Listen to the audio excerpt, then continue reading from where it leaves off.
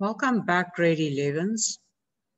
This is the third video, and in this video, we are going to discuss a mixed example where we consider static as well as kinetic friction. So the example says a box with a mass of 2 kgs rests on a horizontal surface. Calculate the maximum static friction if mu s is 0.4. So the coefficient of static friction is 0.4. The coefficient of kinetic friction if the box moves with a constant velocity when a force of 6 newtons is applied. To solve the problem, let's draw a sketch to represent the situation. So here we have a box that's got a weight, Fg, which can be calculated by multiplying mass by the gravitational acceleration. So it's two times uh, 9.8, which gives us 19.6 newtons. Now, the, if the applied force is horizontal to the surface, then the normal force would equal the uh, gravitational force. So the normal force would be 19.6 newtons. They give us that the box is initially stationary, so the if the frictional force would be uh, static friction. They also tell us that the coefficient of static friction is 0.4. Now, this value is calculated when the frictional force is a maximum static friction. So in the first example, A, question A, they want us to calculate the maximum static friction, Fs max. And the equation is that it is mu s times the normal force. We have calculated the normal force to be 19.6 and mu s is 0.4.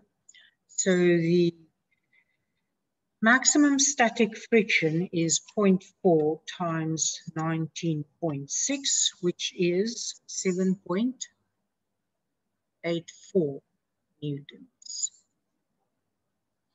Number B, they want the coefficient of kinetic friction if the applied force is now six newtons. Please note that the applied force now is smaller than the applied force in the case above in A. Because once the object starts moving, you need less force acting on the object to keep it moving.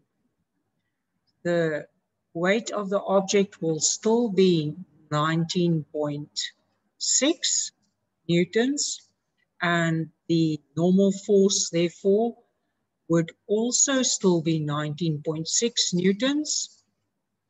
Now the friction would be a kinetic friction. Now, if the box moves with a constant velocity, it means that the kinetic friction would be equal in size to the applied force because the net force in the horizontal direction is zero. So the kinetic friction would be six newtons.